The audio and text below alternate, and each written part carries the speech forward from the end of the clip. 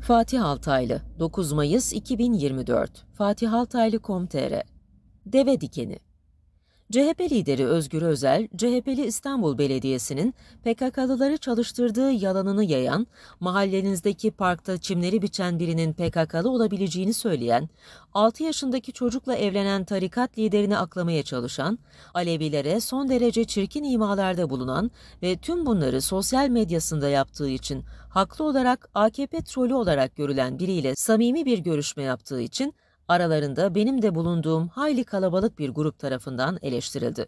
Hatta ben bu görüşmeyi ayarlayan kişi her kimse CHP içindeki hainin o olabileceğini yazdım ve söyledim.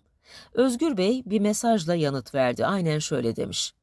Ben bu çocuğun geçmişte Yeni Şafak'tayken, TVNet'teyken televizyon programına katıldım. Dün gelmiş, Ankara'da birçok siyasiye uğradığını kendi söylüyor. Bana da uğradı, nikah davetiyesi verdi.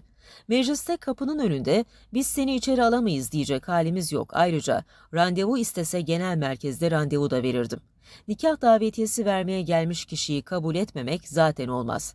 Ayrıca geçmişten hukukumuz var programına çıktım. O program bizim kendimizi karşı mahalleye anlatmamız için de çok etkili bir program olmuştu.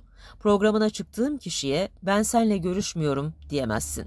Ayrıca bu çocuğun haberini alıntılayıp Akit iğrenç bir manşet yapmış ama çocuğun öyle bir ifadesi yok Atatürk'le ilgili. O çocuk taciz meselesinde de birkaç saat duran bir tweet'i hızla silmiş işin gerçeğini öğrenince. Adam elbette bizim mahalle için makbul bir adam değil ama İBB ile olan o meselelerden sonra bu seçimlerde birçok CHP'li belediye başkanını da yayına aldı. Aykut Erdoğdu bunlardan bir tanesi, Murat Çalık bir tanesi. Ekrem Başkan'ın da sunumuna davetliydi ve katıldı. Özgür Özel aynen bunları yazmış. Okudum. Bu açıklamayı tatmin edici bulup bulmadığınızı sizlerin insaf ve izanına bırakıyorum.